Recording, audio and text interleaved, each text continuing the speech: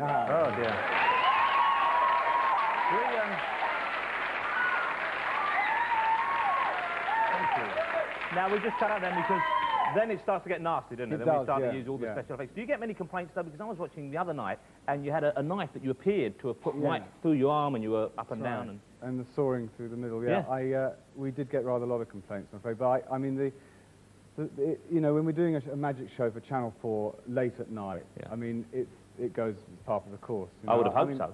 Yeah, I mean, I, I wouldn't do anything like that on a show like this at this time of night because it's just not suitable. But, but talking about, do, do you know what that is, John? I, I have no idea what that is. What is that, son? Well, what that is, it's a, a little squeezy rubbery type of thing that you use to take out. Uh, Simon, can I take this opportunity to apologise on behalf of my audience?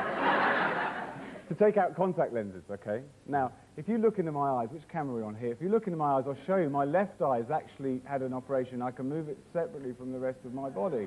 And um, if I take this here and just, just, just delicately squeeze it and go, oh, um, you'll see um, the little eye in the hand. Now, don't, I please, I must insist, you mustn't try this at home, anybody.